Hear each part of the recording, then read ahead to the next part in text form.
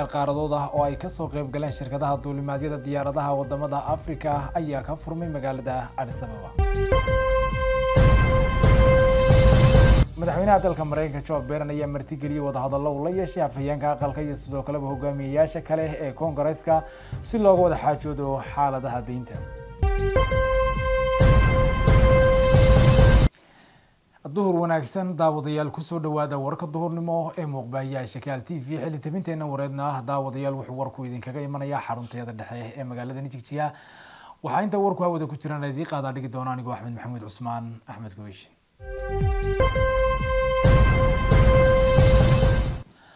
kulan heer qaaradeed ah oo ay ka soo qayb galeen shirkadaha duulimaadyada qaaradda waddamada africa ayaa ka furmay magaalada adis ababa kulankan loogu magacdaray isku xidhka adeegyada iyo suuqa duulimaadyada diyaaradaha waxaa looga golleeyahay sidii loogu kuurgeli lahaa hanaanka isgaadhsiinta adeegyada gaadiidka diyaaradaha ee qaaradda afrika. Madaxa duulimaadyada qaaradda afrika dhifinka dhimoyo ayaa furitaanka kulankan ka sheegay in qorshuhu uu qeyb ka yahay hiigsiga casriyeynta adeega gaadiidka diyaaradaha ee rakaabka qaaradda afrika ee mashruuca midowda afrika ee labada kun iyo lixdan iyo saddexda.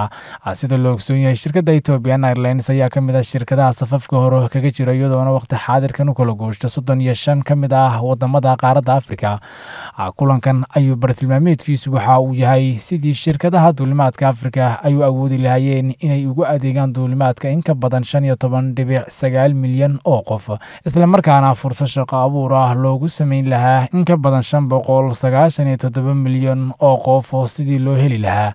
Sanad walba dakhli guud afar dhibic sagaal milyan oo dollar.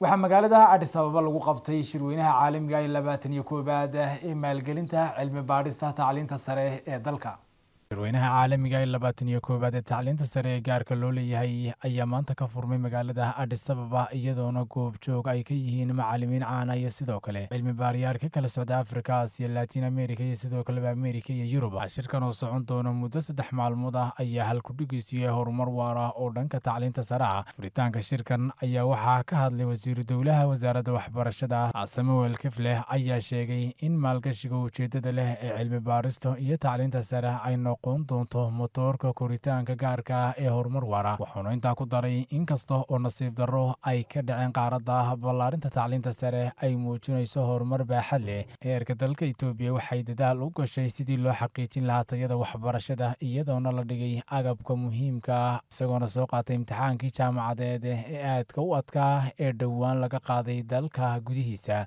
Si ka duwan sanadihii hore natiijada ay soo saartay ardaydii gashay imtixaanka shahaadiga ee dugsiga sare ayaa muujiyey kala duwanaanshiyaha weyn oo kor loogu qaadayo anshaxa ardayda iyo sidoo kaleba dadaal badan. Waxauna xuseyn wasaaraddu ay garwaaqsatay wax ka qabadyada ay hay'adaha waxbarashada ee gaarka loo leeyahay ay ku bixinayaan sidii uu buuxin lahaa meelaha ay ka maqan yihiin. Awoodda hantida guud ee dalka gudoomiyaha jaamacadda mary wonduzom samrat ayaa sheegay in shirkan looga gol leeyahay in la bilaabo wadahadallo iyo dooda waxtar leh si loo xoojiyo horumarka waxbarashada sare ee afrika. Wuxuuna intaas ku daray in macadyada tacliinta sare ay noqdaan kuwa firfircoon oo uga qayb qaata hiigsiga horumar waara. Macadyada tacliinta sare ee afrika waxay u baahan yihiin inay wax ka qabtaan caqabadaha qaaradda soo food saaray dardarigelinta hirgelinta horumar waara iyo sidoo kaleba ajendaha labada kun iyo lixdan iyo saddexda. Shirkan ayaa la filayaa in looga tashado arrimo ku saabsan tayeynta tayada waxbarashada iyo sidoo kaleba xarumaha tacliinta sare ee afrika. Waxaa kale oo la filayaa inay soo saarto talooyin ku habboon iyo qodobo sidoo kaleba cilmi baariseed oo kala duwan. Dood cilmeedkan iyo sidoo kaleba faallooyinka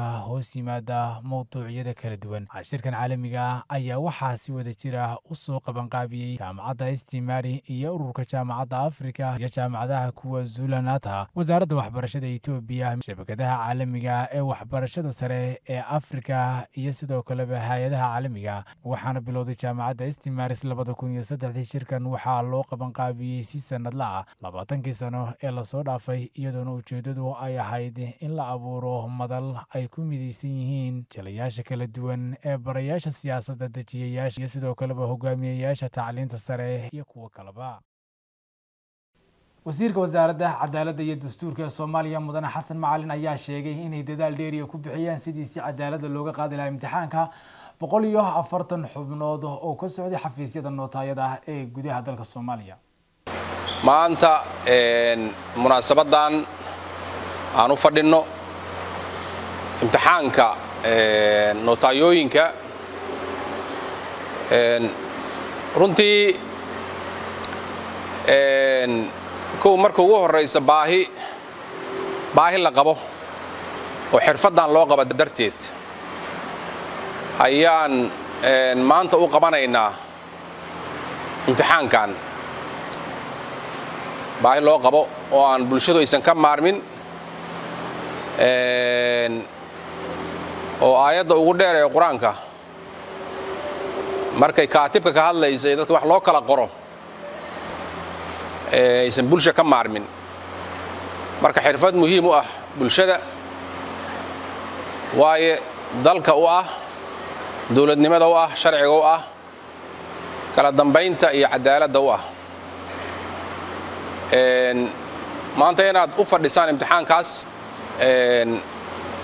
annagana waxay noo tahay sharaf waxay noo tahay waajib gudasho idinkana waxay idin tahay cadaalad iyo fursad inaad heshaan oo aad ku mutaysataan tiradaa yar tiradaa yar ka bannaan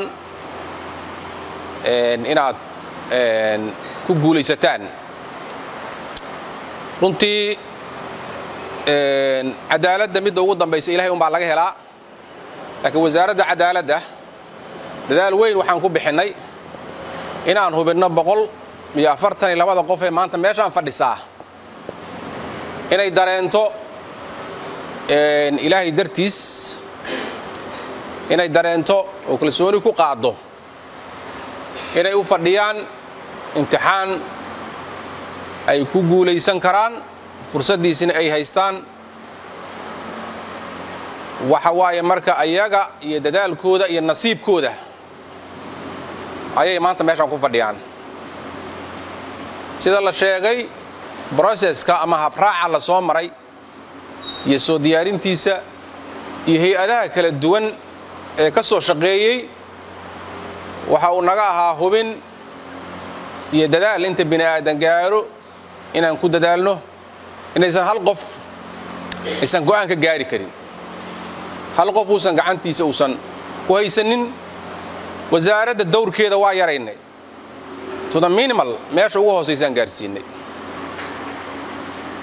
saan uga fogaanno kalsooni darro saan uga fogaanno. Saan uga fogaanno tuhna saan uga fogaanno. Guddi madax bannaan oo ka madax bannaan wasaaradda sida la sheegay ayaa maanta idin hor fadhiya oo soo diyaariya imtixaankan. Marka waxaan rabnaa inaad kalsooni ku qaadaan.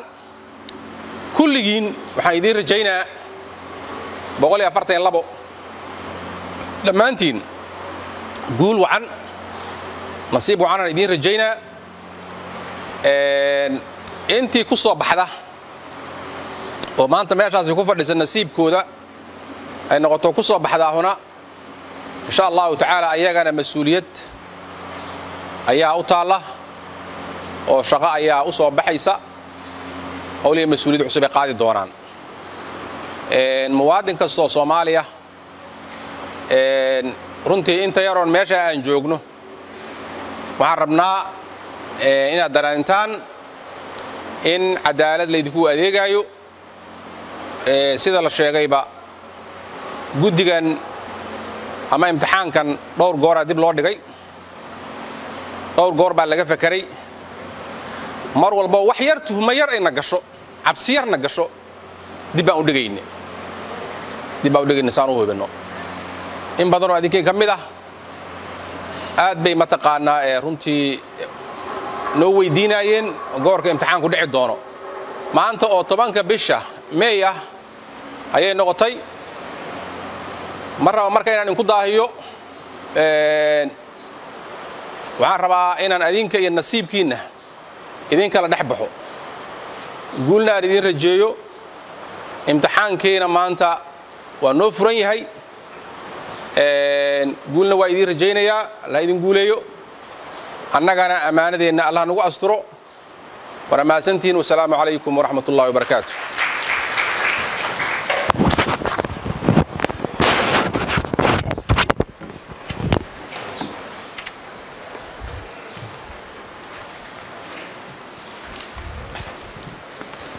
madaxweynaha dalka maraykanka ayaa martigeliyey wadahadallo uu la yeeshay afhayeenka aqalka sare iyo sidoo kaleba xubnaha kale ee koongareeska si looga wada xaajoodo xaaladaha deymaha ee dalkaasi madaxweynaha dalka maraykanka jo biden iyo sharci dejiyayaasha sare xisbiga jamhuuriga ayaa si foolka foola u kulmay talaadadii iyadoona ismariwaa ka dhashay kordhinta xadka deynta maraykanka ee kor u dhaaftay. Soddon iyo kow dhibic afar trilyon inay dalka ku riixayso khasaare aan horey loo arag. Madaxweyne biden wuxuu ugu baaqay sharci dejiyayaasha inay sare u qaadaan xadidaadda amaahda ee dowladda federaalka ee iskeedu soo rogtay shuruud la'aan. Afhayeenka aqalka cad ee jamhuuriga kevin mark ayaa dhankiisa sheegay in aqalkiisu uusan ansixin doonin heshiis kasta oo aan dhimayn kharashaadka si wax looga qabto hoos u dhac miisaaniyadeed ee ka sii daraya. Madaxweyne jo biden oo warbaahinta la hadla ayaa sheegay waxaan kulan la yeeshay hogaanka sare ee koongareeska oo ku saabsan waddadii hore loo maray si loo hubiyo maraykanku uusan ka bixin deynta waxaan ku heshiinay inaan sii wadna wadahadalkeenna waxaan mar kale kulmi doonaa jimcaha. Inta ka horeysana shaqaalaheennu waxay kulmi doonaan maanta iyo maalin kastaba. Inta u dhacaysa hadda iyo wixii ka dambeeya qof kasta oo shirka joogana uu fahmay khatarta ah inuu baaqday. Waxaan caddeeyey intii uu socday kulankan in qaladku aan u ahayn doorasho